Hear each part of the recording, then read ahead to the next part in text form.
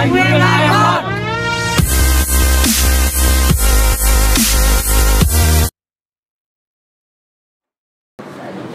Ờ, rồi, hello bạn, chào mừng bạn đã đến với YouTube channel của Thân Như Con.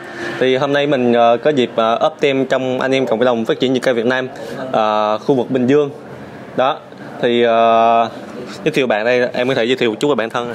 Dạ em tên là Việt Quốc ạ. Em sinh năm 2005. Ờ, em uh, tập uh, lên được bao nhiêu cm rồi?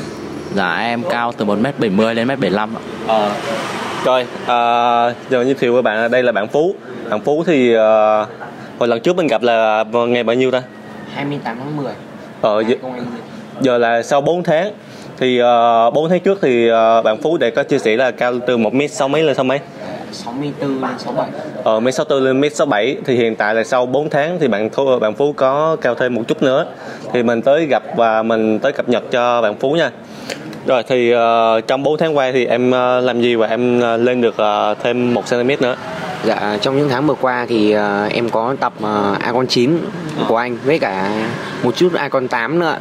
Thì những buổi sáng này em có dậy sớm mà em uh, tập thể lực những cái bài bật nhảy rồi uh, nhảy dây chạy bè những thứ. Em uh, mới tập lại gần đây đúng không? Chứ bữa giờ cũng nghỉ nha. Dạ em tập từ hồi cuối tháng 11 ờ là từ lúc gặp anh là lúc đó em đang bỏ tập ấy nhưng mà dạ. tới uh, chia sẻ lại uh, với Trinh rồi thì uh, em muốn uh, chúc các bạn trong cơ động phát triển như cao gì không Dạ em chúc các bạn là đạt được chiều cao mong muốn và cố gắng giữ nhịp sinh hoạt điều độ, ngủ sớm rồi dinh dưỡng vẫn là quan trọng nhất và đừng bỏ tập luyện. Ờ hiện tại là em một mét bao nhiêu? Em bây giờ là một một mét sáu mươi tám. Ờ mét sáu tám. Đó thì uh, tụi mình uh, tới uh, quay về đánh dấu lại ngắn uh, thế thôi. Thì uh, khoảng 6 tháng hay một năm nữa thì uh, tụi mình sẽ tới cập nhật chiều cao của hai bạn này. Hiện tại em sáu tám đúng không? Dạ. Ờ em uh, mét nhiêu dạ, em 75 ờ em muốn chúc các bạn trong ngày đầu phát triển như cao gì thì chúc các bạn có chiều cao mong ước và ngủ sớm ăn uống điều độ. Ờ mục tiêu của em là mét bao nhiêu? Dạ mục tiêu em là mét tám ờ rồi hai đứa đứng lên thì anh uh, so sánh chiều cao. Có gì uh, đứng ngay đó luôn đứng ngay đó luôn đúng rồi